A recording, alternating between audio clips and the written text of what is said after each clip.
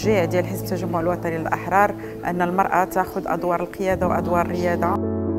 تنظم الفيدرالية الوطنية للمرأة التجمعية مع مؤسسة كونغادي دي نوار لقاء تواصليا حول موضوع تعزيز الحكمة النسائية محليا ودوليا.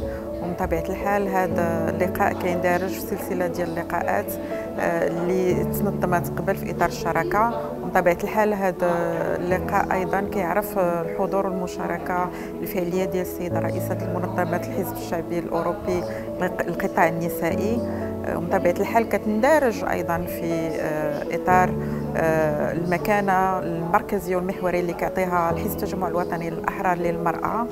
نحن نتوفر اليوم على نساء قطاع نسائي قوي جدا عندهم امتدادات في كل ربوع المملكة.